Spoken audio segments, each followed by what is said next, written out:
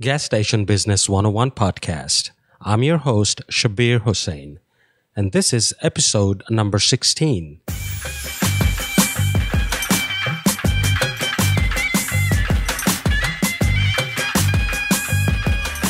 Welcome to the one and only Gas Station Business 101 podcast, where you can learn all the secrets about how to start and operate a gas station business successfully and make money. This podcast is brought to you by the good folks at GSB Academy Publishing Company. And now, here is your host, Shabir Hossein.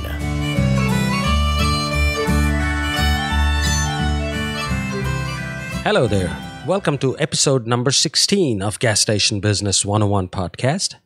In the next two episodes, today's and the next one, we will be talking about money once again, especially how to add income to our bottom line by simply adding some extra income generating mini businesses to our existing business. The ideas I will be talking about today does not apply only to gas station business, but to most other brick and mortar retail businesses that you see around town all of those can also try this and see some extra monthly income in their pocket.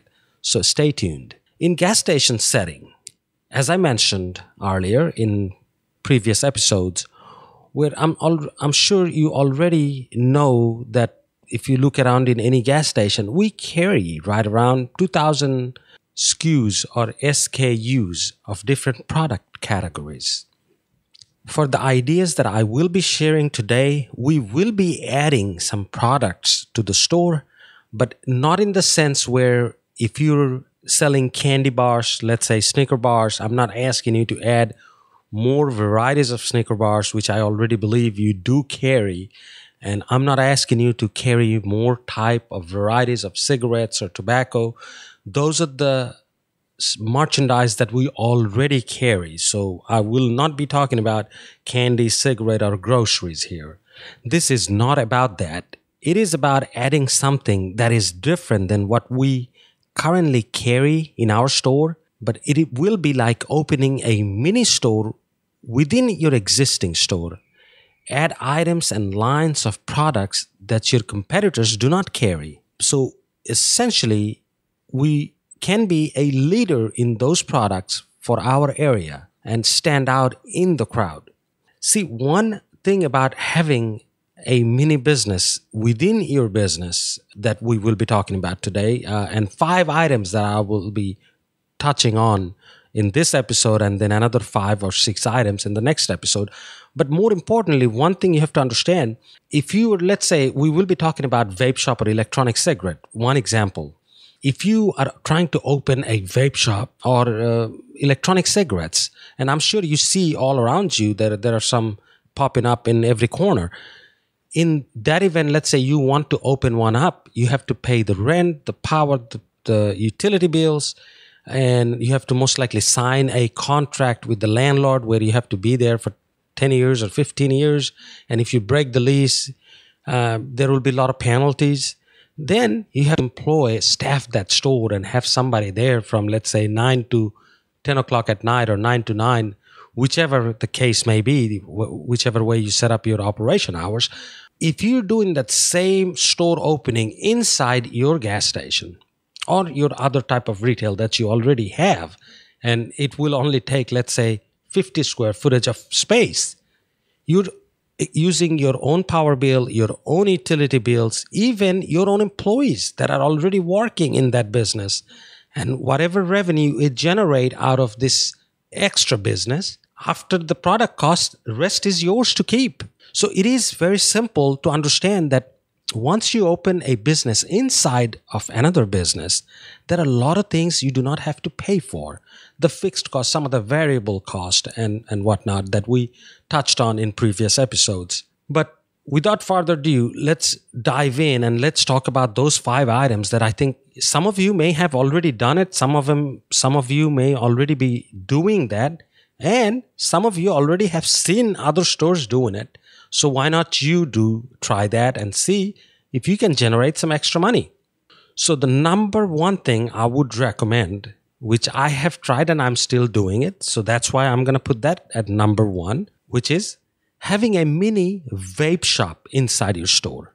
Now, what is a vape shop? Eh, that term may sound foreign to you, but vape shop is electronic cigarette store. I'm sure all of you have seen people smoking those electronic cigarettes where there is no uh, fire, but the smoke's coming out, literally. And now that R.J. Reynolds, Philip Morris, and and Lorillard, everybody got into it, so we are already selling some of these electronic cigarettes uh, in our store. So why not carry a brand of electronic cigarettes and varieties of it and see how it does? The way I found out about electronic cigarette, I'm a smoker myself, not proud of it, and I'm trying to quit, but fact is I'm still a smoker. And back in 2012, I had a throat surgery for some other reason, not because of smoking. And after the surgery, I could not smoke for a few days. And I needed some nicotine in my body. And that's when I thought about electronic cigarette because I've seen people smoke it around town. It was still fairly new back in 2012. So I searched around my town and couldn't find very good quality electronic cigarette. So whatever I found, I went ahead and bought it and puffed on it and realized that they're not very good quality because in 30 minutes, either I was out of liquid, which is the juice, nicotine juice, or the battery ran out of charge. But regardless, I got hooked onto electronic cigarettes and I started, I did not smoke real cigarettes for about two years. And then once I started smoking that, I've seen how people were excited to see that a smoker is smoking electronic cigarette and they kept asking me if that was satisfying to be smoking electronic cigarette in instead of regular cigarettes. And i said yes because i quit regular cigarettes and i was smoking electronic cigarettes. And yes it does have nicotine and you can go up and down as far as how much nicotine you want. So you can make it very strong or very light. And i was taking in the middle approach where you know it's not too strong not too light. And then i had some other people try it. I said give it a try see if you're happy with it. And some of those people said, hey, this tastes really good. It doesn't have bad odor because, you know, smoking inside a room can stink up the whole room. But in this case, it doesn't do that. And if you use a nice flavored nicotine juice like mango or blueberry, cotton candy, and different types, there are hundreds of different kinds of electronic cigarette liquid. And they said, well, it sounds pleasant. I mean, smells pleasant. And I even, I was smoking uh, banana flavor at one time. And a lot of people said, hey, it smells really good. So I got interested in that industry. And I said, you know what? I need to dig deep into this and maybe I can invest and make money in it. So with that thought, I started digging and I started researching. And I found out, yes, there is a big market for it. And even though there was like only one vape shop by then that opened in our city, so I knew that there are vape shops opening up slowly but surely. And at first, I thought I would open up a vape shop outside somewhere. And then it came to me, why would I do that and have extra labor and rent and utility bills? Instead, I should open up a small vape shop in every store we own and operate and ask other people if they want to do the same and I would supply to them. So with that thought, I contacted some manufacturers in China, the city called Shenzhen. It's the city of industry in China. That's where about thousand of these companies exist. All of the all of those companies, all thousand companies or more, I believe it's thousand to twelve hundred right now. The count has gone up quite a bit in the last three years. It used to be about 700 companies that manufactures electronic cigarettes, but in the last three years, it, it pretty much exploded. So now it's about 1200 companies that makes electronic cigarette. Some of them are very big companies with uh, thousands or more employees and some of them with 10, 15 employees. I contacted about seven of those companies. Then I flew into Hong Kong and then we took a taxi, went to China, went to Shenzhen, which is about 45 minutes to an hour drive. And I stayed three, four days and met with about six of these vendors, went to their factory, saw everything how it's done and i test tested the devices and i said okay i like this i don't like that and then after the sixth uh, company visit i realized out of those six i only liked two of them because they were decent enough size with good enough prices but the quality more importantly was decent so i made a deal with them that i would start placing orders came back and started placing small orders like three, four, five thousand dollars at a time and started bringing that in. Then I started creating a brand around it and I got different types of displays to display those. And every store we have and other stores that I went to, I said, well, I only need two shelf space, about three feet wide in two shelves. And that's all I need. And I will put up some displays and cases and and whatnot. And I will put some advertising outside the door or inside the store and whatnot.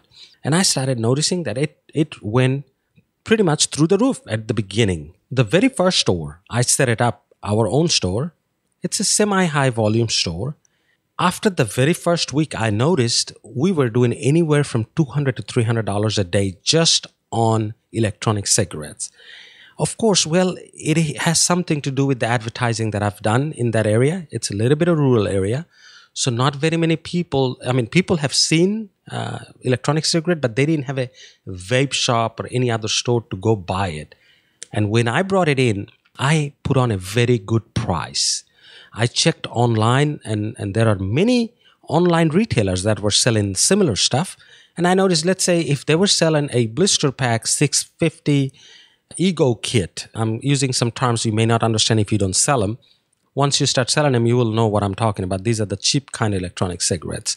And I was using a C4 650 blister pack that back then was costing me around $6 to bring from China. And online and everywhere else, they were selling it for, let's say, $29.99. The profit margin was phenomenal.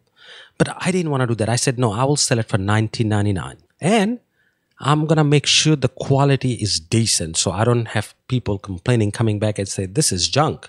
I didn't want to do that, but I did tell everybody once you buy it, you take it home. If you try it and something goes wrong, bring it back and I'll, re- I'll either exchange it or refunds your money. But don't bring it back five days later because it's an electronic device. You, if you don't know how to use it, you may ruin it and I'm not going to be responsible for it. But regardless, and I also found some e-juice, which is the liquid part of this deal. You know, electronic cigarette, let me explain how it works in case you do not know what I'm talking about. And, and it's not that you should have known. No, it's, it's something, it's a new industry. And if you're not smoker, you should not have any interest in it at all. But from business point of view, you should interest yourself in this. And a typical electronic cigarette has two part. One, the bottom part is the battery where it energizes from. And the top part where the liquid goes is called atomizer. Now you fill up the atomizer with liquid and it has a technology in there where when the battery is pressed or on, it drips a drop of liquid into an atomizer and atomizes the liquid. In result, you get vapor or smoke coming out of it. So if you use it the wrong way, can even explode. I have heard that electronic cigarette has exploded. I have not uh, seen any, and I've been using it for many, what, three, four years now. But again, it's an electronic device. So everybody has to know how to use it and use it responsibly. And uh, they have to know how it operates. So if you keep something on and don't, are not doing anything, just holding the button to on position, like when you're cranking your car, if you hold the key to the to the crank position, even after it cranked, you're to burn up the starter, I'm sure, or something else for that matter. So, similarly, electronic cigarette with the wrong way of using it, you can either ruin the battery, ruin the atomizer, or it can the battery can even melt.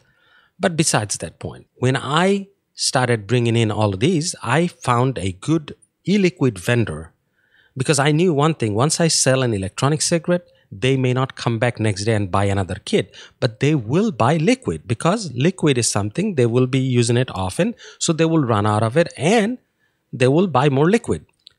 So what I did is I started carrying cigarette kits and then mostly I concentrated on accessories because by then I smoked it long enough to know that batteries do last, good quality batteries will last about a year if you charge them regularly and keep it in good, clean sh- uh, shape. Now, atomizer is something, let's say you put banana flavor in it. Next thing you know, you want to try blueberry flavor. So you cannot put blueberry on top of banana because it's not going to taste good. So a lot of people carry three, four, five atomizers because they fill it up with different types of flavors of liquid so they can try different flavors. So I realized the market was in the atomizer because batteries are just batteries because once you have one, you can use it in four different atomizers. So what I started doing is I found my supplier and I told him, you need to give me some nice looking display that I can display atomizers and batteries and other accessories. So when I took three feet wide shelf, I put up an atomizer display, a battery display, and chargers and other neck links and whatnot. Those are the accessories. And the bottom shelf, three foot wide, I started putting different types of kits. At first, I started only selling kits that cost less than $50 because I figured in gas station setting, you don't want to sell $80, $90 worth of kit because a lot of people will not spend that kind of money in a gas station. But once you establish yourself as a good retailer for electronic cigarettes, then you can start going up and carrying higher grade uh, electronic cigarettes, which are pretty much the cream of the crop and they do cost more, but they do work wonders. So at first, I started carrying less valued electronic cigarettes and I started seeing, as I said, two to three hundred dollars a day. Not every day, but there are highest I've seen was three dollars, three hundred and eleven dollars, I believe, in just one day. And that is not a joke because as I said, the profit margin was outstanding. I was buying things for let's say six dollars. I was selling it at my store for nineteen ninety nine. So j- just to give you an example, most of this, even let's say the atomizer, uh, I carried a lot of different atomizers, and I still do, from let's say six dollar range to twenty dollar range. So if somebody just starting out, they will start off with the cheaper kind. Once they get used to it, then they want more vape, more smoke. So they go for the higher quality atomizers, and that's when they spend $15, $18, 20 dollars. So I started carrying these and I started noticing that I sell mostly atomizers and batteries. And mind you, I was buying an atomizer and I still do from $1.20 to let's say five, six dollars. And I'm selling it from six to twenty dollars. So again, it's if you're talking about markup, it's 300% markup in this kind of things. So you can understand and imagine how profitable these items are. So let's say you do not do $300 a day because by now, everywhere you look, there is a vape shop. And a lot of the other big retailers sells most of these things. Even Walmart got into it. Sam's Club got into it. Everybody sells it. But again, if you can carry good quality electronic cigarette in your store, with clean, good advertising. And as long as the quality is good and the price is right, people will first buy an atomizer, try it, say, hey, you know, it pretty, it's pretty good. They will go tell their friends and they will buy one more and then they will buy the liquid. And pretty soon you may have $50, $60 a day sales. But once you have that, let's take a look what may happen. If you do $50 a day sales in electronic cigarettes, which is not much, then at the end of the month, you sold $1,500 of electronic cigarettes.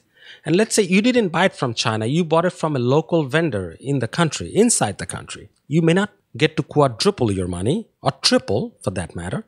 As long as you can double it, then what will happen is you just made $700 out of that three feet wide space.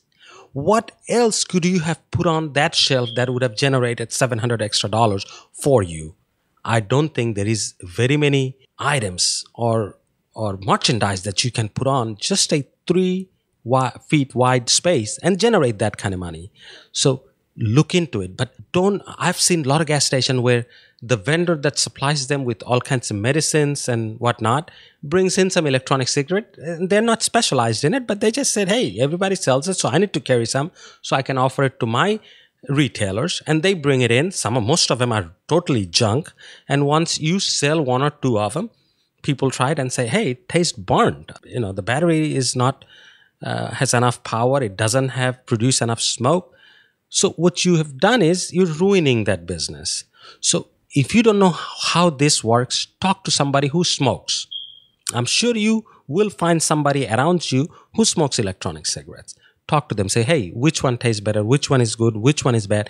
Get yourself educated and visualize the items. And then if you cannot find anybody around your area that carries electronic cigarette, I'm sure you can find somebody online that will sell you uh, varieties of this, and you can set it up yourself by mail order, and within a week or two, you will be in business. Now, one thing I have done that took off really well. Remember that blister pack I told you about that I was buying it for six dollars? Now I buy it for let's say three fifty what I've done in most of the stores that I supply to and sell to, even within our own stores, I put a ad, nice looking ad, just simple one page ad, text ad that says, buy an electronic cigarette kit for 19.99 and get two bottles of e-liquid for free. Meaning, they know most of the customers know that those packs they see it in a lot of stores that sells for 15 20 30 dollars now here I am offering a kit, same kit, which has a charger and an electronic cigarette. This is the very basic starter one. Not a very good quality, but it works.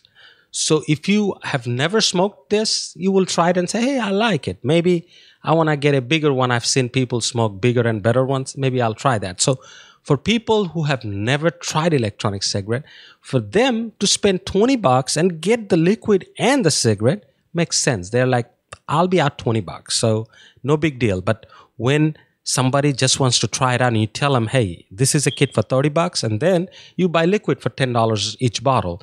He's looking at it. I don't know what to buy. I don't know if this is going to work. But when you tell him, hey, it's 20 bucks, it's a package deal, try it. If you like it, you like it. If not, don't worry about it.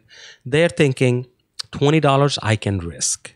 And trust me, this thing has taken off quite well, and I have done really well with that special. Where the retailers, let's say I sold them the kit for five bucks, and the two liquid, I sold them the liquid for another five bucks. So they're buying the whole thing with two liquids and a electronic cigarette kit for $10 and they're selling for $19.99 which is a very good deal for customers and at the same time the retailers are having 100% markup or 50% margin which is not bad again. So if you sell three, four, or let's say you even sold two of these a day, that's what $40 sales a day just on those two kits. Again, which is not a matter of joke. If you did that every day, just sold two kits, you made $20 every day just from that. Don't forget, once they buy this, week later they will come back and say hey you know i like i really like that blueberry liquid so i need to buy one more bottle and that's again you're generating income through residual sales of e-liquids and that's what people will buy mostly once they have enough atomizers and atomizers usually last anywhere from 15 days to about let's say month month and a half depending on how you use it what kind of liquid you use in it so the life expectancy of atomizers are shorter than batteries, of course. So if you have a customer that is smoking electronic cigarette, you can hope that he will buy an atomizer every three weeks to a month. But he will buy a liquid almost every week because these are 10 milliliter bottles. They last about five, six days. So you will have sales from your, let's say you built up 10 customers, you will have that much sale every month and that is an extra income for you from that three feet wide space. Now, here is an another approach to electronic cigarette, and this is fairly new. So some of them you may have heard about it, but not have seen that. But this is where it may go, and I want you to know ahead of time. We all know that marijuana, which is cannabis, is illegal most everywhere in the world, in, including United States. But we do know it is legal in Colorado. And it is legal for medical use in some other states. I believe five, seven states now legalized marijuana for medical use. But only in Colorado, right now, as the time of recording, it is legal for other uses, for example, recreational uses.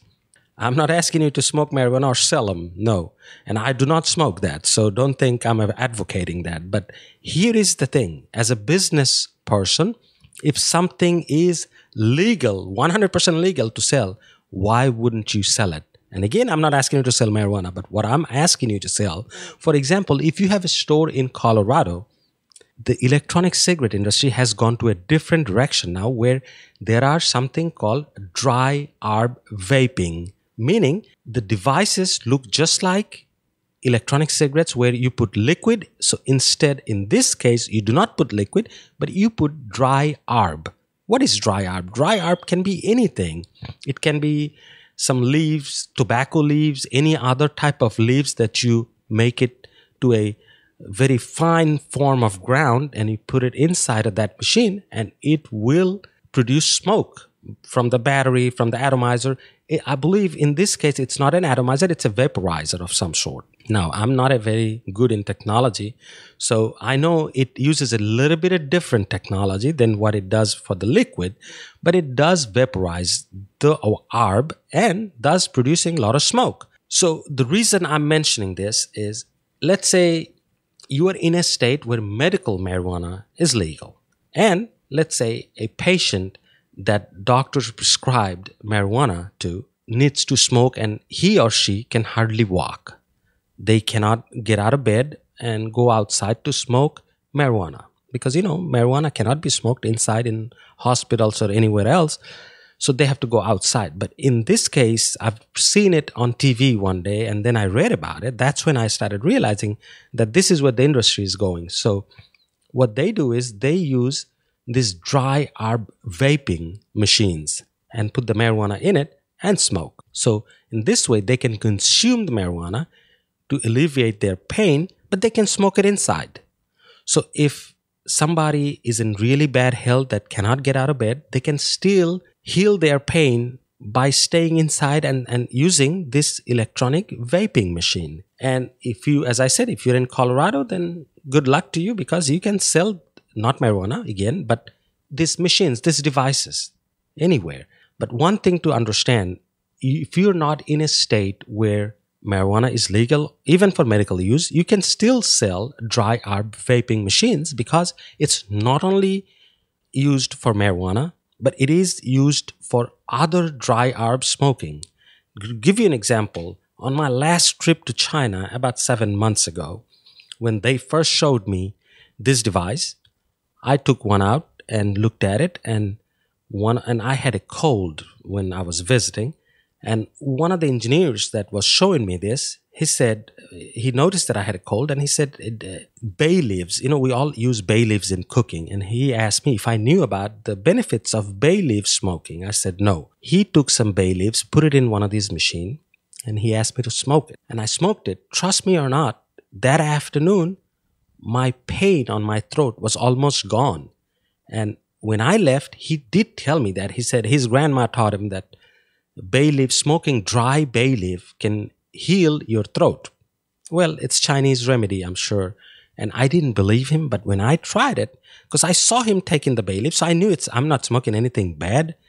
But after using that, I got healed and I knew that it works. So my point is you can still sell dry herb machine legally in your store and they're not very expensive. You can uh, sell them anywhere from $39 to $79 and buy them for around $15 to $30 cost and sell them at your store. And not everybody that uses dry herb is smoking marijuana. No. They can smoke, and there are a lot of dry herb companies that are selling different types of herb from cloves to, as I said, bay leaves to a lot of other different spices that you can smoke uh, just about anywhere and without being noticed or without breaking any law for that matter. So I just wanted you to know that as well when it came to electronic cigarettes. Moving on to number two. Number two is novelty and health products. Now, this is one area I'm sure every one of you that is in this business already sell quite a bit of novelty items. Uh, I've seen it in many stores, and every store I go to, even 7-Eleven, Circle K, we all carry certain degree of novelty because novelty is not like cigarettes or beer. We make quite a bit of money out of those. Most of the time, novelties work this way. And when I'm, let me explain what novelty I mean here. I've seen, or you have seen in some stores, they sell earrings to bottle huggers or, or can huggers and can openers to baseball caps to t shirts and all that. These are usually at 100% or more markup, meaning anywhere from 30 to 70% profit margin, just like electronic cigarettes, little less maybe, but again, very profitable items. So since we cannot sell $1,000 of novelty a day, we don't make as much as we should. So my concentration is we all carry cigarettes, beer, and everything else. Every store carries that. But the way we can differentiate our store from the others is by carrying certain type of novelties that will make us stand out in the crowd.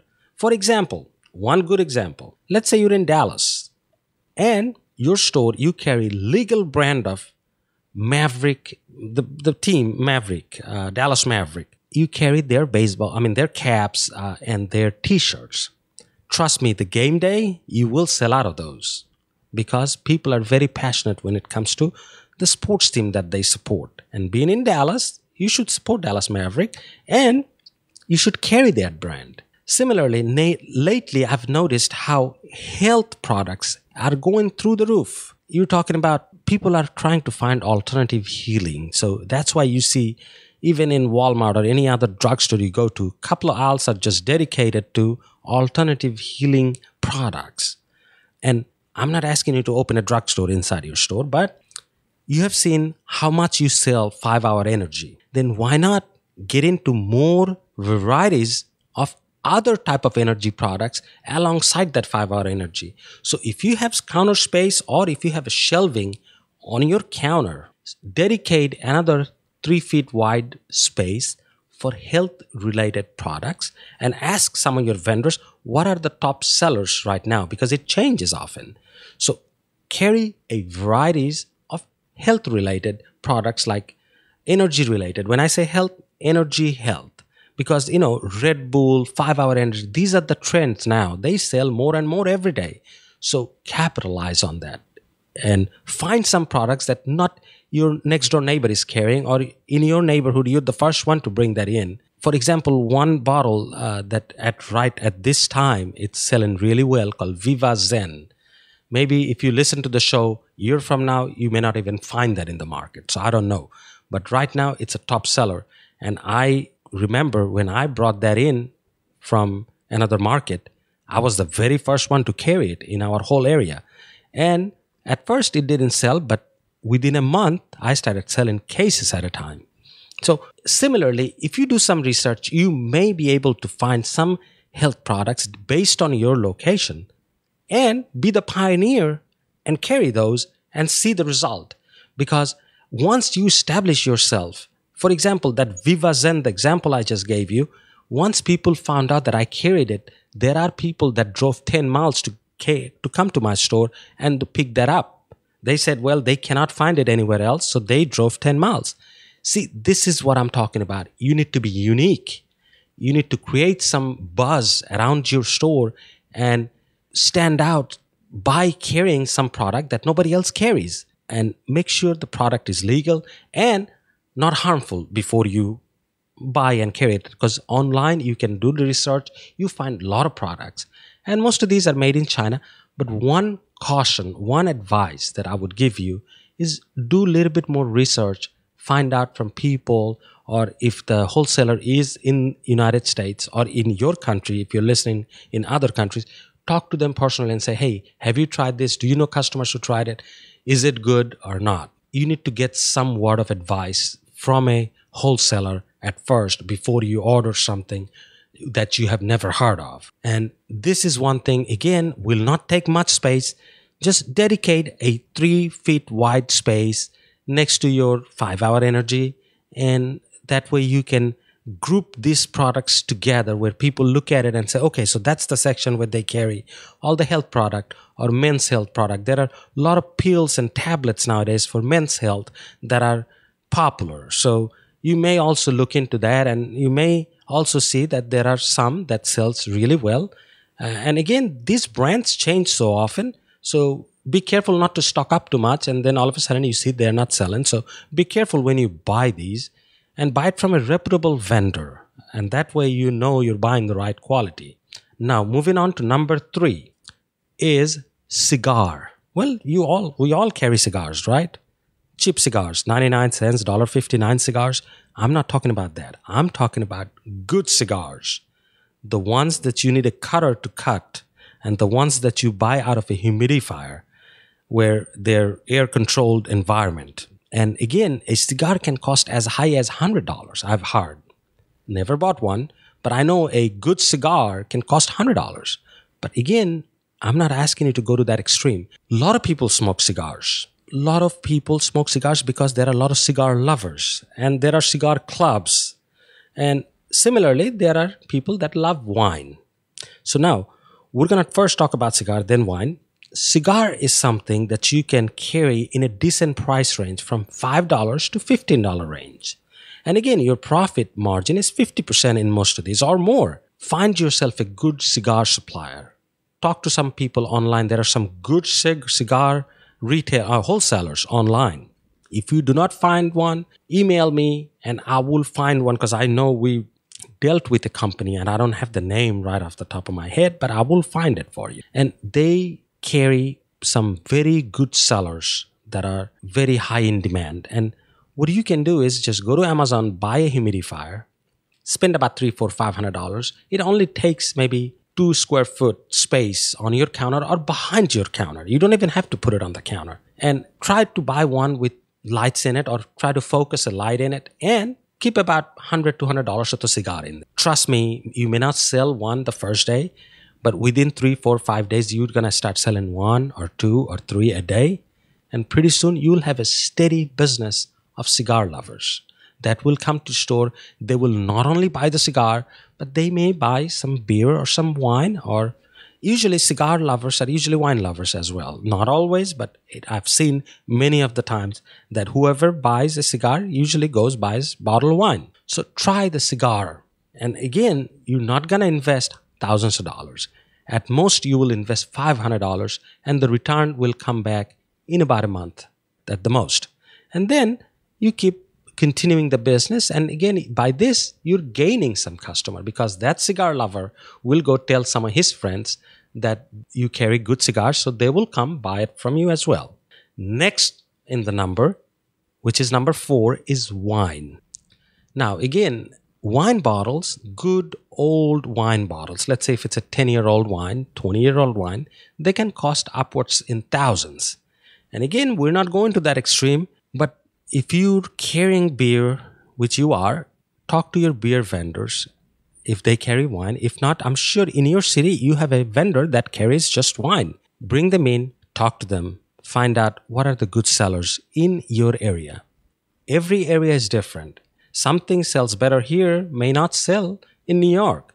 So find out what are the top 10, 15 sellers and then give him a price range. Say, hey, I want to carry anywhere from 599 to let's say 1999 uh, price range wine. And remember, one time I talked about when we were talking about merchandising, I said we used to dedicate eight foot of shelving space just for paper goods. When I say paper goods, I mean uh, paper plates, paper cups, napkins, toilet tissue, um, foil paper wraps, and uh, those type of things. Eh, all eight foot took the, uh, eight foot of space took for that carrying all the paper goods. Then I realized we looked at our sales and I started analyzing how much sales do we generate out of that eight foot section.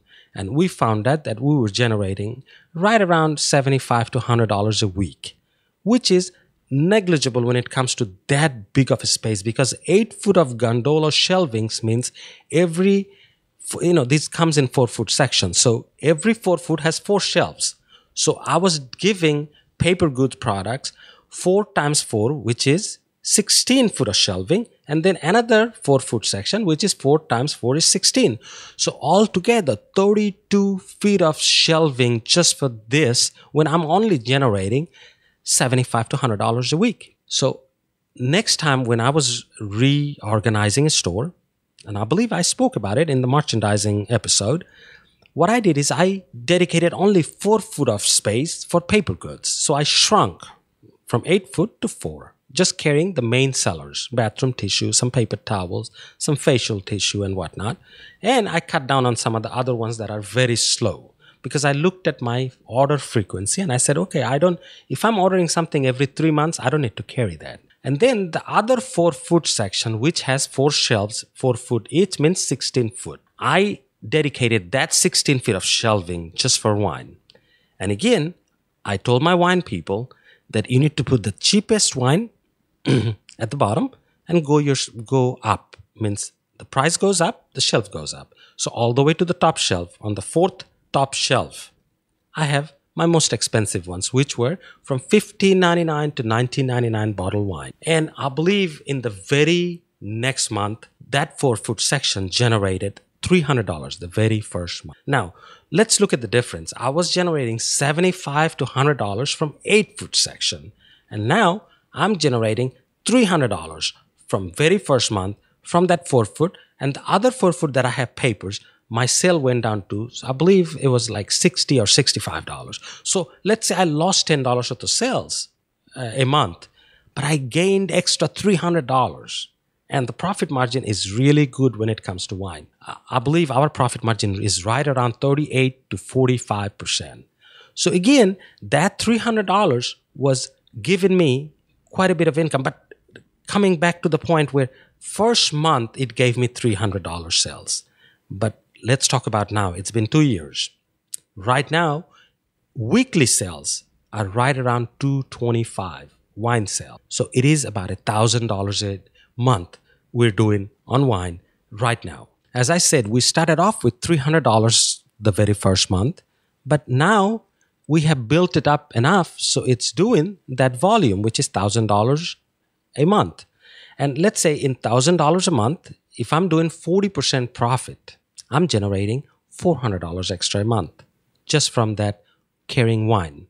So you see, if you add this 400 here, 250 there, 500 there, you're going to see over $1,000 of profit extra, extra profit. You're not spending any extra power bill, no extra water bill, no extra labor, and no extra hours that you have to keep your store open. Same exact same thing that you do every day. Just by carrying this type of items, you can generate and put extra money in your pocket without doing any more effort than what it takes. As I said, cigarette, electronic cigarette, you can spend five, seven hundred dollars or maybe thousand dollars of inventory, get that started, and then you can do health products, just three, four hundred dollars. Cigar, wine, again, five hundred dollars. Wine may cost you a little bit more. Uh, I, I, believe our first uh, inventory when we first bring, brought in to fill up the shelves, it, it was around 1,500 to eighteen hundred dollars.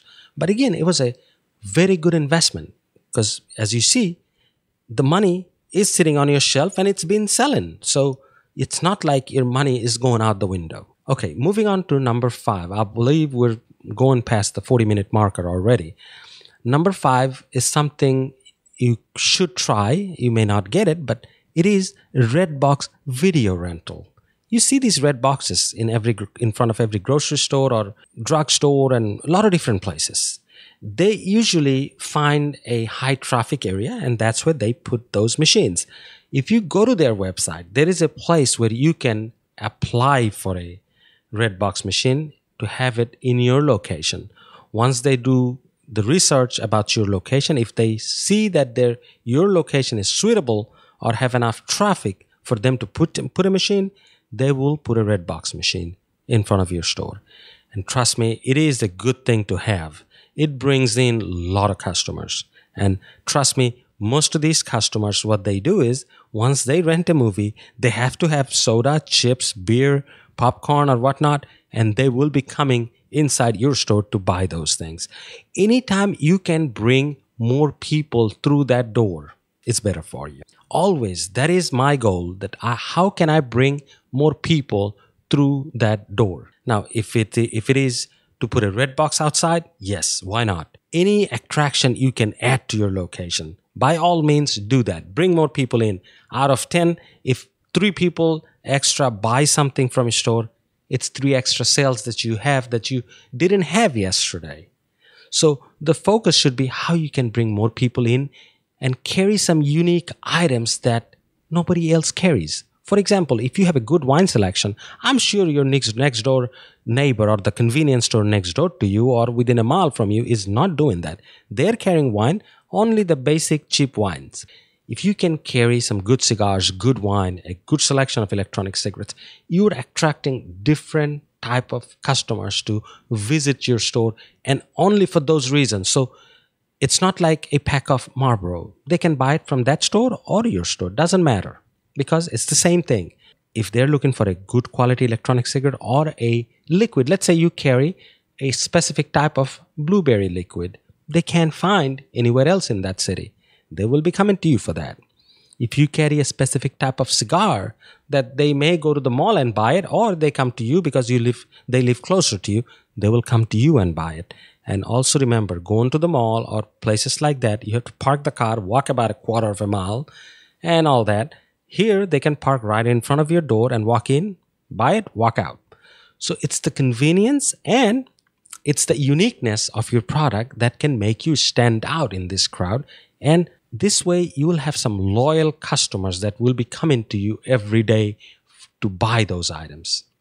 So far, just to recap, we talked about five ideas like electronic cigarettes, novelty and health related products, cigars, wine, and then the movie rental booths. So consume this information, think of it. You may not want to try all five of them. You may try one and say, okay, you know, I picked up another extra hundred dollars out of this. Then you may get motivated to try another one.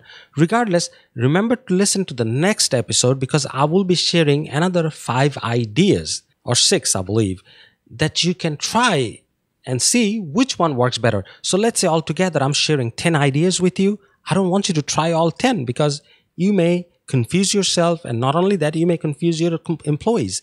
Too many new things at once is not a good idea. So try one at a time.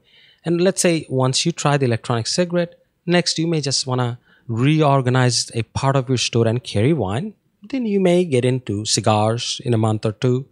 Slowly but surely, once you start making these changes, you will see you're generating more and more extra income that will add to your bottom line. So, once again, stay tuned for the next week's episode. This will be the second part of what we talked about today, and where I will be discussing another five or six ideas that you can try in your gas station or any other retail business that you have. And since we're already at the 50 minute marker, I have decided not to do the email segment today.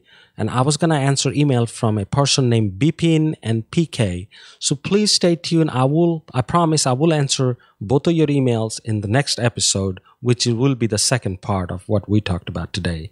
So let's get to the book. You know, I recommend a book every week. And in today's book is, it's written by Dave Ramsey. And I'm sure all of you, even though you may not read too many books, but I'm sure you know the name Dave Ramsey because we see him on TV. We know he has a radio show for many, many years. And he's a personal finance guy. He's a financial advisor and he's very well known for his advice.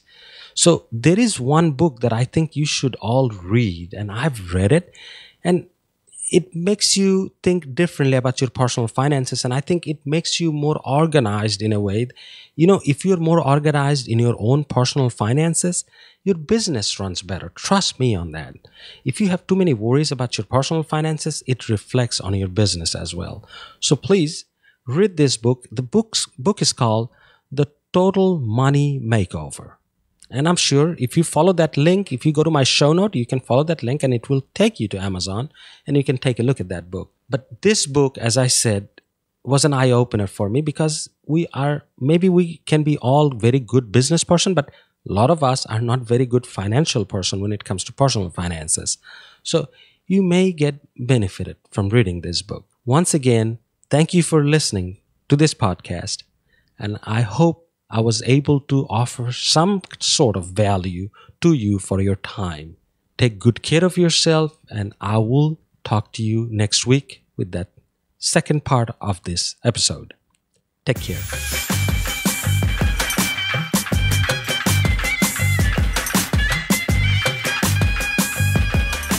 This has been the one and only Gas Station Business 101 podcast with your host, Shabir Hossein. This podcast was brought to you by GSB Academy Publishing Company.